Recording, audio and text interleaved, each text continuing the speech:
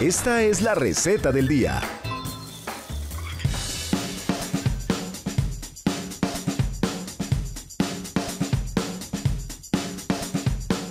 Hola gente linda, ¿qué tal? ¿Cómo están acá en Tú tienes la sazón? ¿Me habías extrañado? Porque hoy te tengo un platazo, no un plato, un platazo. Hoy vamos a hacer nuestro pan cook pollo con champiñones. Pero no solo vamos a hacer la salsa, vamos a hacer el pan también. Así que no tenés excusas para no hacerlo desde tu casa. El pan cook que vamos a hacer el día de hoy, primero vamos a empezar haciendo la masa y luego te voy a enseñar a hacer toda la parte de relleno. Ahora sí, vamos con los ingredientes.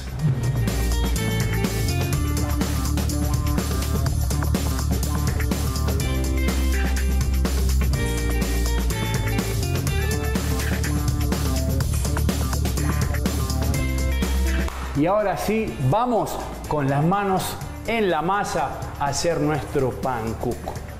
Técnica de volcán, una técnica que nosotros ya conocemos porque hemos hecho pancito antes y lo hemos hecho juntos. Colocamos nuestra harina, colocamos el agua en el centro. Bien. Importante, si tu clima es frío, pone agua tibiecita. Si tu clima es caliente, pone agua fría. Bien. Vamos a colocar la sal por fuera. Bien. ¿Por qué la sal por fuera? Si yo colocar la sal por fuera, no se va a juntar con esta señorita, que es la levadura. La levadura, si se junta directamente con la sal, la puede anular, la puede matar. Así que siempre la sal por fuera y la levadura por dentro. Vamos a empezar a integrar. Muy bien, vamos a aplastar esta levadura. Adivina qué estoy haciendo acá. Una técnica que todos debemos conocer, que es la técnica de integración, que es con la mano del tigre o la garra del tigre que llamamos en panadería. De esta manera colocamos dentro nuestra masa y empezamos a disolver la levadura. Perfecto. Ahora sí, vamos a agarrar un raspe, ¿sí? Esto es un raspe, cornet, como vos le quieras decir, ¿sí? Son económicos y sirven, es la herramienta fundamental para un panadero, ¿sí? Vamos a colocarlo entonces por dentro, la harinita, muy bien. Pero solo haces esto, solo rompes la corona cuando ya tenés el engrudo formado, ¿sí? O la masa eh, o los líquidos integrados con parte de la harina. Muy bien. Vamos a integrar acá. Y ahora sí, nos limpiamos un poquito las manos. Y vamos a seguir integrando. ¿Qué es lo que voy a hacer acá? Integro y aplasto. Integro y aplasto. Ahí va, mira eso. Muy bien. Perfecto. Una vez que está bastante integrado, podés proceder a hacer la técnica del corte. Mira, seguime acá. ¿Cómo es el corte? Cortás y vas a ver que la parte interna, que es la más húmeda, se mezcla con la parte externa, que es la más seca. ¿Sí? Y lo volvés a integrar. Y ahí nos vamos a amasar un poquitito. Eso. ¿Tenías gimnasio hoy? Bueno, no tenés excusas para hacer en tu casa un buen pan cook y matar dos pájaros de un tiro. Bueno, nos vamos a limpiar un poquito las manos. ¿Sí? Ahí va. Rascate. Muy bien. Bien duro. Perfecto. Y ahora sí, ahora viene la gran labor del panadero, que es lo que lo define, que es el amasado. Ahí va. Mirá cómo utilizo el peso del cuerpo y no solo la fuerza de las manos. Me tiro encima de la masa. Esto es fundamental. Acuérdate que al principio queremos rasgar, ¿sí? Como dirían acá, rasgar. En Argentina nos cuesta pronunciar, por lo menos a mí me cuesta pronunciar a veces las S y cambiamos la S por una J. Así que vamos a rasgar muy bien. Ahí va. ahí va.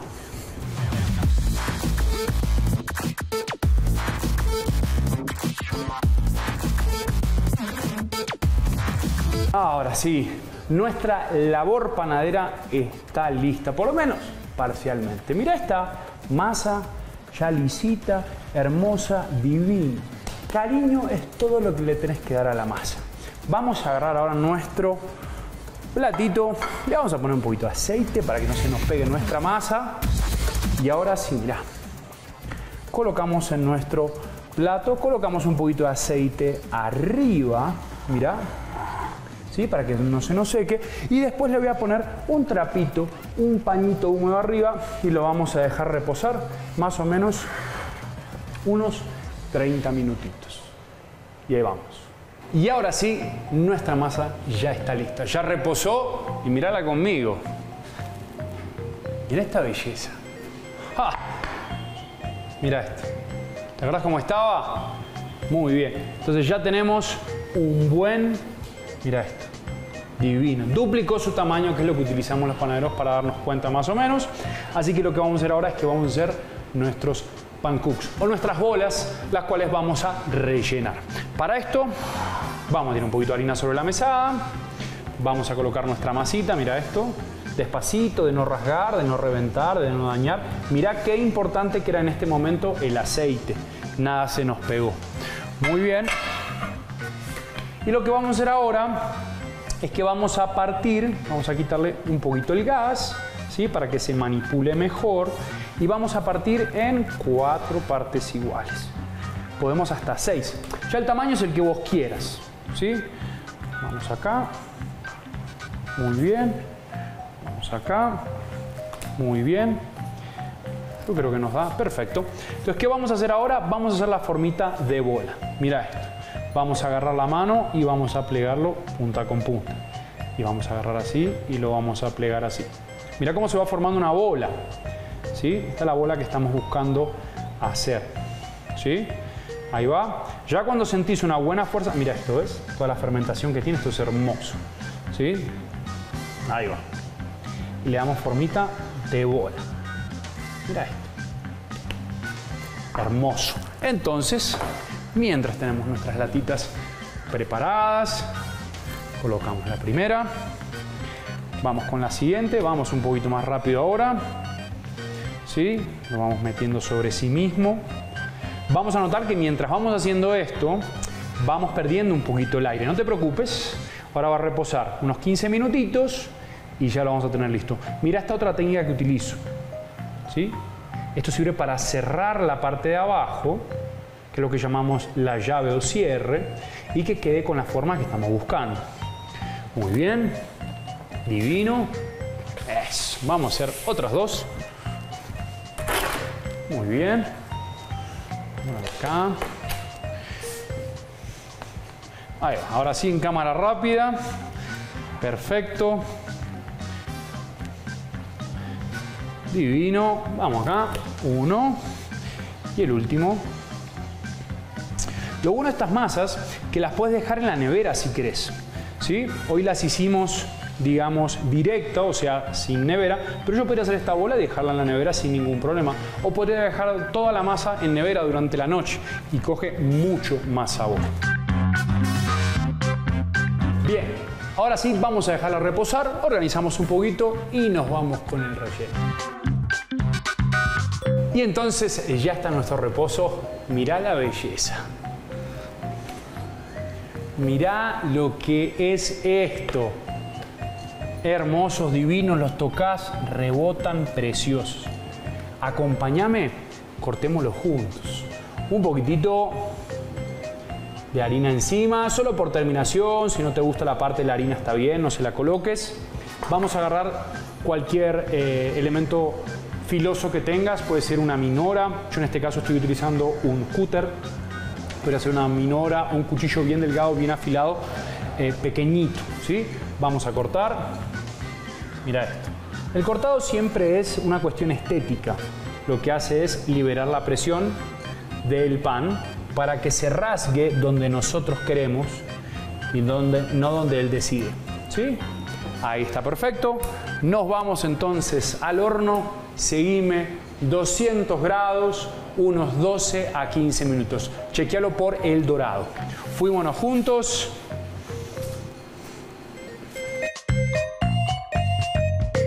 Estamos listos. Mientras él hace su trabajo, vamos a hacer la salsa. Nuevamente, fácil, rápida. ¿Para qué queremos la salsa? Porque después vamos a descabezar nuestro pan cook, rellenarlo con lo que vamos a hacer a continuación. Pollo champiñones imperdible. Bien, vamos entonces. Acá vamos a colocar entonces un poquito de nuestra mantequilla, ¿sí? Colocamos la mantequilla, perfecto. Ahí va. Muy bien. Perfecto. La mantequilla se va a empezar a derretir y vamos a hacer lo que se llama en cocina un roux. ¿sí? Un roux es básicamente un engrudo de mantequilla de harina, que es lo que va a espesar la leche que vamos a colocar. ¿sí? Pero antes de hacer nuestro roux, tenemos los otros ingredientes que también debemos contemplar, que son nuestros champiñones y nuestro pollito. ¿sí? Acá tenemos la sal, las hierbas aromáticas, vamos a dejarlo todo bien cerquita. Muy bien, vamos a esperar que se derrita un poquito, ahí está nuestra mantequilla. Van a notar que eh, es buena cantidad de mantequilla la que colocamos y eso es porque los champiñones chupan mucho líquido, ya sea grasa, ya sea agua. Entonces, importante, siempre que utilicemos champiñones o cualquier hongo, ellos van a chupar mucha humedad, además de la que tienen. ¿sí? Ya casi está derretida mi mantequilla. ¿sí? Muy bien, estoy esperando que se derrita completamente.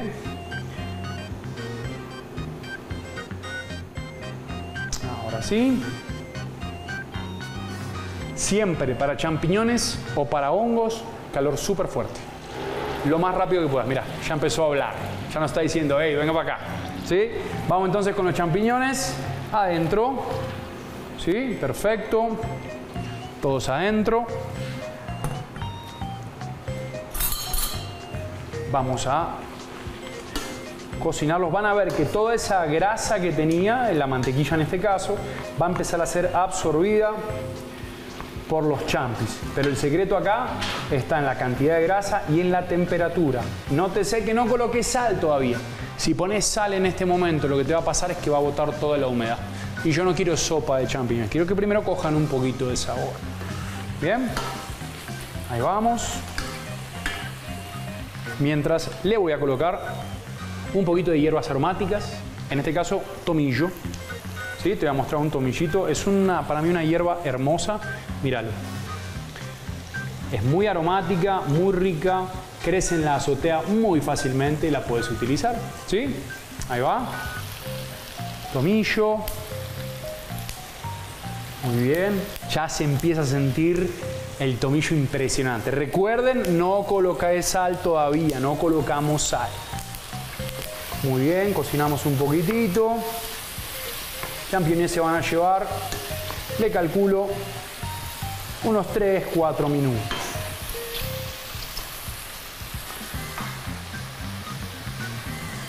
Ahí va, estoy pendiente de los champiñones y esperamos. Mientras tenemos acá nuestro pollito y la leche, por supuesto, que vamos a utilizar. Esperemos a que doren un poquito. Bien, nuestros champiñones ya toman un poquito de color. Voy a colocar un poquito de nuestra sal, un poquito de pimienta. Muy bien. Uy, huele delicioso. Muy bien. Ahora, ¿qué vamos a hacer? Vamos a hacer el roux. ¿Sí? Voy a aprovechar esa mantequilla que tenemos ahí y le voy a colocar la harina y voy a hacer un engrudo. ¿sí? Que toma el nombre de roux, roux en la cocina. ¿sí? Ahí va. Muy bien. Miren cómo se hace una especie de engrudo. Muy bien, miren cómo se une todo. Perfecto. Y ahora voy a empezar a colocar nuestra leche. ¿Sí? Le voy a colocar de a poquito. Es importante que sea a poquito para no generar grumos. Cuando ya tenga todo el líquido, voy a colocar nuestro pollo. ¿Sí? Hay gente que le gusta dorar el pollo en la sartén. Está perfecto, ¿verdad? También es muy válido. Muy bien, vamos a colocar. Muy bien, recuerden de a poquito para no generar grumos. Esta harina va a empezar a disolverse en la leche y va a empezar a espesar. Básicamente lo que estamos haciendo es una bechamel, una salsa blanca. ¿sí? Recuerden que cada ingrediente que colocamos es un ingrediente que colocamos sal, porque la sal, por supuesto, perdón, la leche no tenía nada de sal. Vamos a colocar laurel. Muy bien. Ahí va. Ya está espesando el resto de la leche.